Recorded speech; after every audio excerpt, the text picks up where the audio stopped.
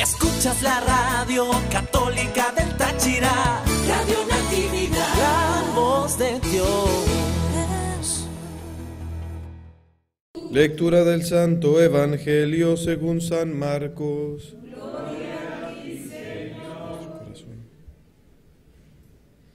En aquel tiempo Jesús dijo a la multitud, el reino de Dios se parece a lo que sucede cuando un hombre siembra la semilla en la tierra, que pasan las noches y los días, y sin que él sepa cómo, la, semilla germina y crece, y la tierra por sí sola va produciendo fruto, primero los tallos, luego las espigas, y después los granos en las espigas y cuando ya están maduros los granos, el hombre echa mano de la hoz, pues ha llegado el tiempo de la cosecha. Les dijo también, ¿con qué compararemos el reino de Dios? ¿Con qué parábola lo podemos representar? Es como una semilla de mostaza, que cuando se siembra es la más pequeña de las semillas, pero una vez sembrada, crece y se convierte en el mayor de los arbustos y echa ramas tan grandes que los pájaros pueden ir a anidar a su sombra. Y con otras muchas parábolas semejantes les estuvo exponiendo su mensaje, de acuerdo con lo que ellos podían entender. Y no les hablaba sino en parábolas, pero a sus discípulos les explicaba todo en privado. Palabra del Señor. por las palabras de este santo evangelio sean perdonados nuestros pecados. Pueden sentarse.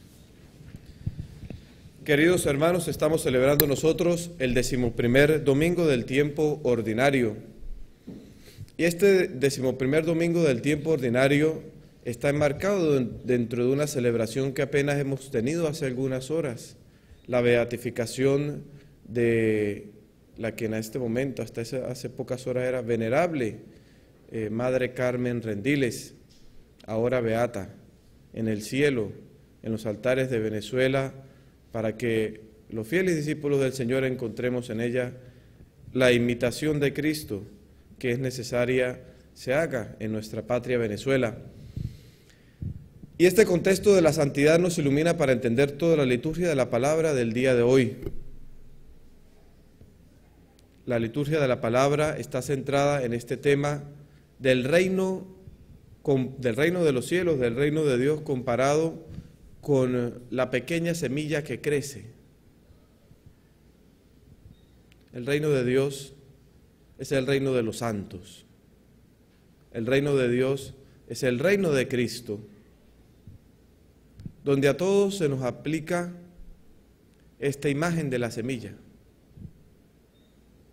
¿Quién es la primera semilla humilde de mostaza pequeña, sencilla, que crece enormemente y a Él van todos para tomar de sus frutos y para cobijarse bajo su sombra, Cristo Jesús. Él es la pequeña diminuta semilla del reino, puesto por obra del Espíritu Santo en el vientre de Santa María nuestra Madre, y que luego hizo, el reino de Dios está en medio de ustedes, porque es Él el reino de Dios. Ahora, queremos que el reino de Dios, queremos que el reino de Cristo continúe presente en el tiempo hasta que Cristo regrese por segunda vez. Y nos corresponde a nosotros, a los discípulos del Señor, a través de la santidad, la pequeña semilla germine en todos los tiempos y en todos los lugares, en todas las circunstancias, porque queremos que Cristo reine, decía un santo. Esa es la misión de la iglesia. Queremos que Cristo reine. Queremos que el reino de Dios crezca. Y Jesús dice que la semilla de mostaza es la más pequeña y la más insignificante y lo comparamos con la lectura de Ezequiel. Los árboles grandes serán humillados, serán arrancados. Así todos los árboles del campo sabrán que yo el Señor humillo a los árboles altos, los soberbios, los avaros, los anticristo, los antihumanos, los que odian a Dios, los que se levantan soberbios delante de Dios, inclusive con las leyes que han aprobado durante estos días en Irlanda y en Argentina contra la vida, pro aborto, leyes soberbias que se levantan delante de Dios. Y entonces el Señor promete a través de Ezequiel, humilló a los árboles altos y elevó a los árboles pequeños. El más pequeño de todos, Jesús, lo hizo Señor de la historia y del tiempo. María es otro árbol pequeño, la esclava, la sierva del Señor, y Dios la elevó. Carmen Rendiles aparece sobre, por encima de todos los personajes venezolanos que podamos imaginar con su santidad, porque es reflejo de Dios. Ella pequeña, humilde, inclusive limitada, porque le faltaba parte de su brazo izquierdo. Pero la potencia y el poder de Dios hace enorme a los árboles pequeños, a las semillas humildes, porque es la obra de Dios, que crece como Él quiere y cuando quiere y da fruto. Dios, dice el profeta, secó a los árboles lozanos y hace florecer a los árboles secos. Yo el Señor lo he dicho y lo haré.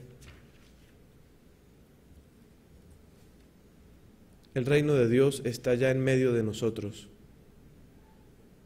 El reino de Dios ha sido puesto en nuestros corazones con la llamada a la santidad que hemos recibido el día de nuestro bautismo. ¿Qué tenemos que hacer?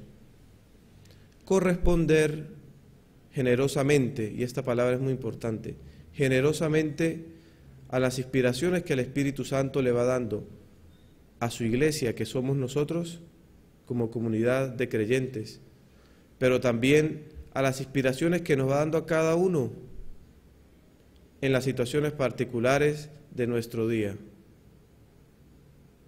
No nos sintamos nunca inútiles, menospreciados por el bien que hacemos es necesario ese bien, es necesario esa buena voluntad, es necesaria esa recta intención, es necesaria esa obra de justicia, es necesaria esa buena palabra que edifica, es necesaria esa corrección fraterna, es necesaria esa perseverancia por alcanzar las cosas que son de Dios.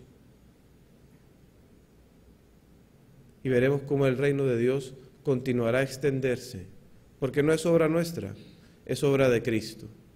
Pero importante una cosa, nuestra generosidad a la correspondencia y a la gracia que el Señor nos inspira.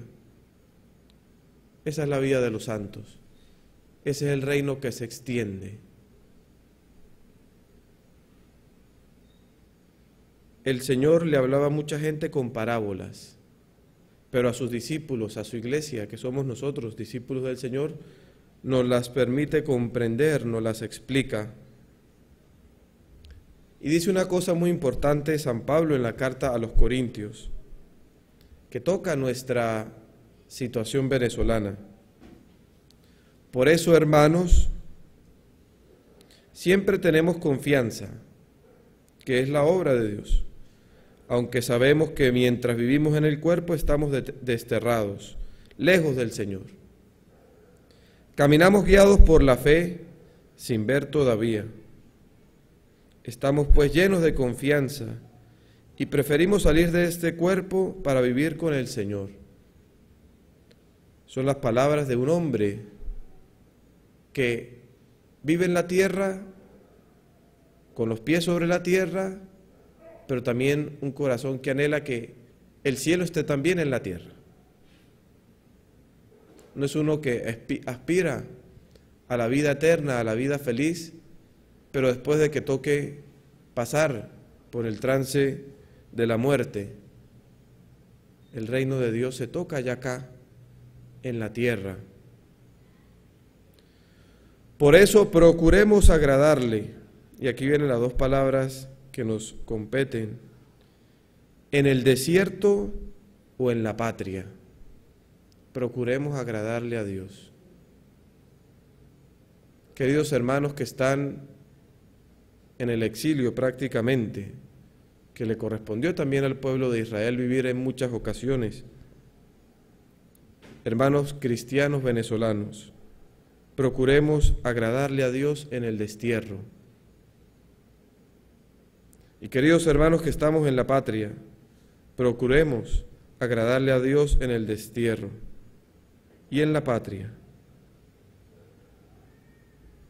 Procuremos que Cristo reine en nuestros corazones. Procuremos que Cristo reine en nuestros trabajos. Procuremos que Cristo reine en nuestras familias. Procuremos que Cristo reine en nuestra patria. Y una palabrita también de ánimo, de felicitación y de agradecimiento a todos los padres en su día. La paternidad es un don precioso. De hecho, es un servicio de los hombres a la humanidad.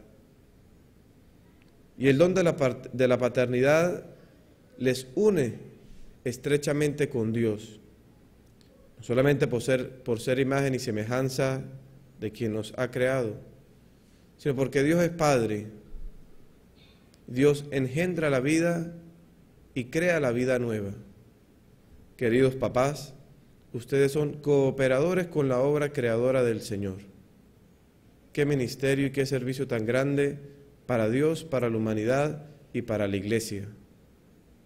Pues que siempre esa paternidad a la que Dios les ha llamado esté en busca de un amor limpio, puro, perfecto, fiel, animoso, constructivo, de su familia, de sus matrimonios, de sus hijos y también de la Iglesia y de Venezuela.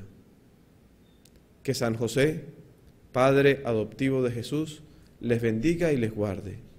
Y que Santa María, nuestra Madre, les acompañe también con muchas bendiciones en agradecimiento por este servicio fiel que ustedes hacen a los hijos que Dios pone aquí en la tierra. Gloria al Padre y al Hijo y al Espíritu Santo